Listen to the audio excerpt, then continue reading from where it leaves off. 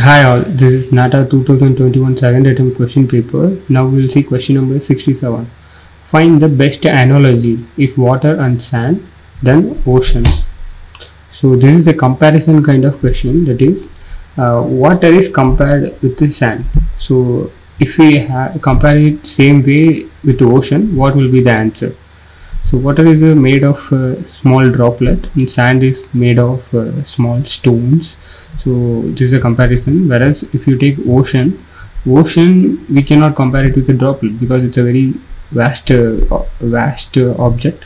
Whereas droplet is a very small object, so it's wrong. Dust is also a very small particle, and continent continent is a uh, area which is named by human beings like country, uh, state, district, everything uh, continent cannot be compared with the uh, ocean. Okay so continent is also not perfect match whereas desert if you take desert is a empty land where no vegetation we can find. It's a very vast uh, space just like ocean. So desert would be a perfect comparison for this. So option d is the correct answer. Let's check the answer key so correct answer is option d